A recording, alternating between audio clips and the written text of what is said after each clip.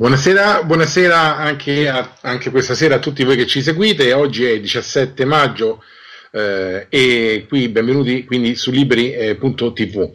Eh, iniziamo questa, questa um, serata con la consueta virgola. Io sono Gianni Colacione e um, volevo niente fare una, una piccola riflessione eh, con, eh, con, voi che mi ascoltate e che poi um, rivedete questo spazio come anche gli altri eh, registrata sul sito, sul canale di YouTube, ehm, parlando di, di eh, un particolare mh, mm, che riguarda le elezioni amministrative e comunali, in particolare qui nella città dove, dove abito, ma insomma una cosa di eh, portata abbastanza generale. Eh, Libri TV vi ho offerto eh, anche su questo delle interviste ad alcuni candidati quindi siamo in piena campagna elettorale con l'abbondanza di slogan di ogni genere promesse da parte dei candidati sfidanti, mentre da parte dei candidati già sindaci eh, uscenti spesso possiamo ascoltare o leggere eh, delle bizzarre ricostruzioni di ciò che hanno fatto. Insomma, la classica, classica atmosfera eh, preelettorale eh, di italica tradizione. Eh, fatta questa premessa, sono andato a vedermi un po' le modalità di voto su un sito istituzionale. Modalità di voto eh, per la città in cui vivo, cioè eh, per una popolazione superiore a 15.000 abitanti. Eh, sono, mh, mm, le, sono, delle regole che riguardano appunto queste città eh, più grandi e le regioni a statuto ordinario e la Sardegna. Oltre a tutte le varie indicazioni su come apporre il segno, il voto disgiunto e così via, ho notato che sono possibili due preferenze due preferenze eh, per i consiglieri comunali. Eh, se si vuole usare quindi questa opzione, eh, bisogna appunto apporre due nominativi, però devono essere di sesso diverso. Eh, e allora mi sono soffermato a pensare che questa prescrizione evidentemente si richiama eh, a norme eh, di tipo etico, cioè quelle stesse che sono alla base del sistema delle quote, rosa, gialle, verdi, arcobaleno, ma comunque quote. Eh, l'eguaglianza, cioè, mh, e in questo caso uomo-donna, perché evidentemente è fatto per promuovere appunto la presenza delle donne all'interno delle, degli organi eh, legislativi o nelle amministrazioni, eccetera. Eh, quindi la presenza delle, delle, dell'eguaglianza della, dell'uomo-donna è imposta da leggi che regolano le partecipazioni a organi e incarichi pubblici e ne prescrivono una appunto una presenza esattamente identica.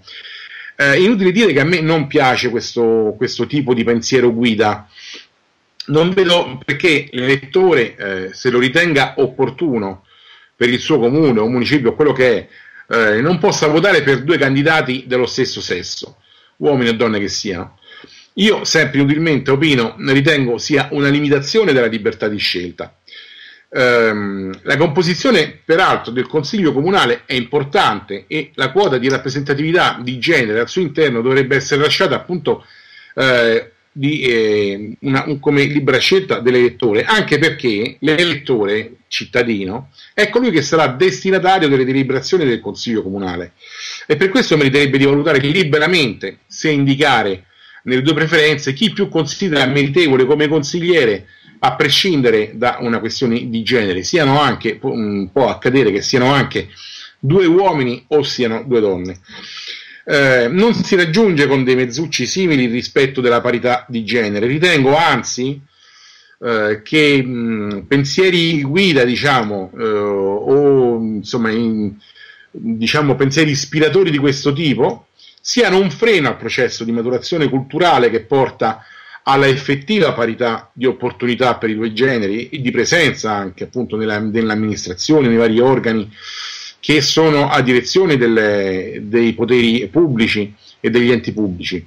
È una maturazione culturale che è l'unica cosa, secondo me, che può essere efficace e su cui bisognerebbe investire per il futuro. Il sistema delle quote è quello del ghetto, del ghetto che alimenta l'identitarismo di genere, uno strumento di rivendicazione sociale decisamente eh, obsoleto, appunto altrove ormai abbandonato. Peraltro non so che eh, garanzia di comportamenti equi eh, rispetto al genere possa fornire un'amministrazione che si trova ad avere un bilanciamento perfetto in termini di genere, perché l'effettività del sentito non è verificabile, eh, solo in virtù di una norma di tal genere. Eh, perché in pratica, eh, voglio dire, peraltro il sindaco di Roma mi sembra che su questo è già stato sanzionato per la presenza non equa degli assessori, gli assessorati. Mm, se il progresso culturale effettivamente del sentito è lo, l'obiettivo, non è appunto con questo tipo di norme che in realtà ehm, prevedono in modo troppo, troppo veramente specioso, eh, bisognerebbe anche prevederlo allora anche per le amministrazioni, appunto i municipi, le, le amministrazioni di condominio, tu, tutto dovrebbe essere allora specificato in questo senso eh, per, per, avere un bilanciamento identico. Eh, mentre invece è importante, secondo me, che questa, la, la parità uomo tra gli esseri umani, che poi secondo me non dovrebbe neanche essere necessario specificare nel genere, sia sancita da norme di carattere generali, quali la Costituzione, quali la Dichiarazione eh, di diritti umani e, e così via. A completare il quadro a chiusura volevo comunicarvi anche l'aspetto sanzionatorio, perché c'è un aspetto sanzionatorio di questa norma.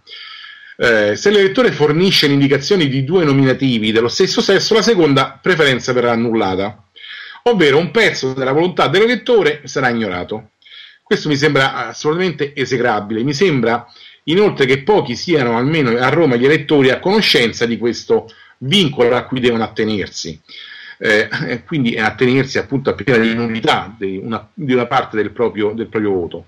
Spero non diventi una prassi, comuni, una prassi comune legare in generale l'indicazione di due o più candidati alla parità di quota di genere rappresentata. Sarebbe un vero vulnus evidentemente queste norme sono state pensate soprattutto ovviamente a vantaggio delle donne in Italia, notoriamente poco presenti nelle istituzioni, per colpa di molte amministrazioni, di amministratori che le discriminano.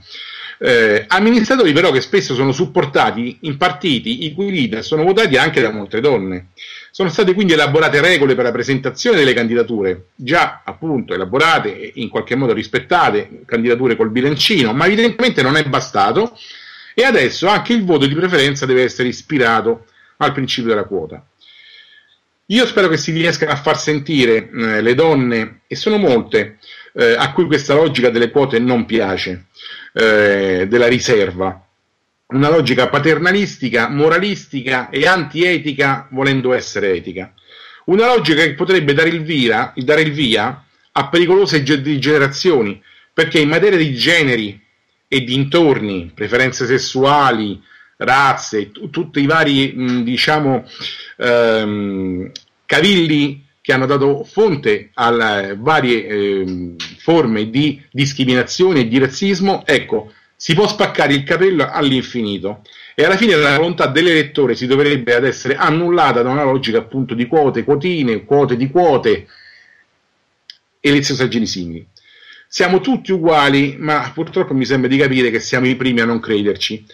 Detto questo, mh, mm, eh, mi congedo appunto da questo maniloquio ringraziando Donato eh, per questa, la regia di questa, di questa, serata come delle altre. Vi ricordo che Libri TV è un'associazione che si sostenga da sola e sarebbe ovviamente utile e prezioso per noi che vi iscriveste e passo a illustrarvi il palinsesto di questa sera. Dopo la virgola del direttore alle 20.45 lo spazio Società Libera. Torna appunto la conversazione con Vincenzo Olita, direttore di Società Libera.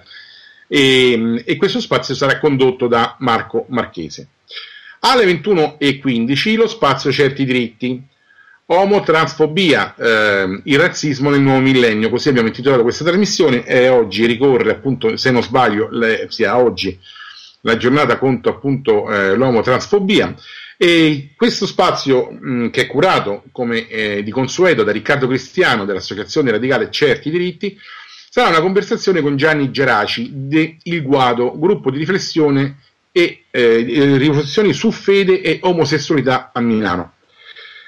Um, alle 21.45 voci transnazionali eh, e parleremo di Siria. Avremo, tornerà ospite su, di Libri TV una persona che appunto che già conoscete, che è Shadi Amadi, eh, parleremo della questione siriana, giornalista appunto Shadiamadi ed esponente della comunità eh, siriana eh, in Italia ehm, e parleremo oltre che appunto di alcuni aggiornamenti sulla vicenda siriana, ehm, quindi politica internazionale in qualche modo, eh, anche di un libro che lui ha scritto che si chiama La felicità araba, storia della mia famiglia e della rivoluzione siriana. E, e, vedremo un pochino, parleremo di questo libro, ci illustrerà eh, di cosa si tratta.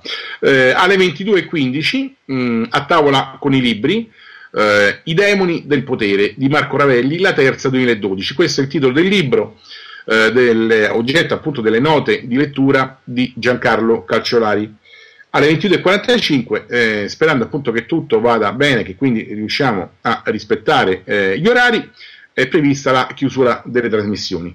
Io eh, vi ringrazio per avermi ascoltato, mm, vi eh, consiglio di continuare a seguire eh, le trasmissioni di liberi.tv. Eh, con me noi ci vediamo alle 21.15 con, spaz- eh, con ehm, alle 21.45 con voci transnazionali. Grazie ancora, restituisco la linea alla regia.